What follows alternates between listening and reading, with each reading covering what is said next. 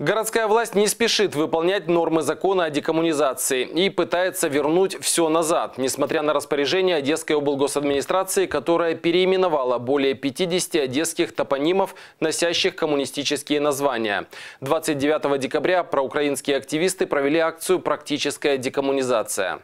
В распоряжении Одесской областной государственной администрации многим улицам присвоены имена павших героев АТО. Например, улица Ленинградская, что на Молдаванке, названа в честь павшего бойца полка Азов. Александра Кутузаки, Кутуза. Последний путь Александра провожала вся Одесса. Он жил и учился недалеко от улицы Ленинградской, переименованной в его честь. На 52-м номере силами активистов установили табличку с новым названием этой улицы. Александр Кутузаки – это боец э, полка Азов Азов, э, который погиб 15 э, февраля 2015 года во время Широкинской наступательной операции, которая производилась для того, чтобы оттянуть силы противника от Дебальцева. Городская наша власть э, на фоне других скандальных законов, которые она производит в интересах Кремля, также не хочет допустить, вот, чтобы славные имена наших земляков э, были увековечены в топонимах Одессы. Наибольшее сопротивление со стороны промерских одесситов было по поводу переименования проспекта маршала Жукова в Героев Небесной Сотни. Но закон есть закон, и раз его не торопится, понятно почему, выполнять одесские чиновники и коммунальщики, активисты им о законе напомнили и задали соответствующий вектор. Одесситы, общественники и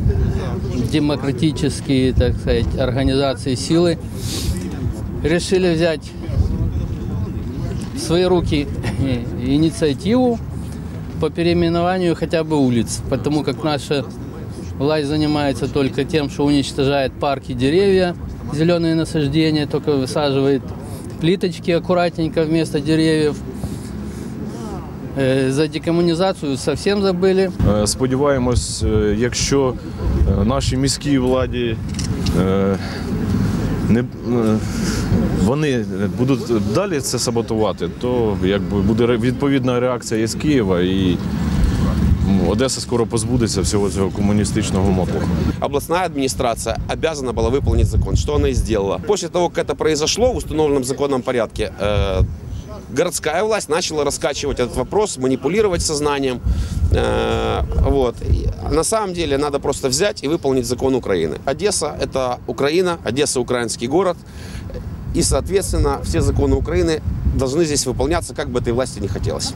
Активисты обещают, их акции на этом не прекратятся. И пока в городе не будет выполняться закон о декоммунизации, снятые таблички со старыми названиями улиц будут почтой отправляться непосредственно мэру Труханову.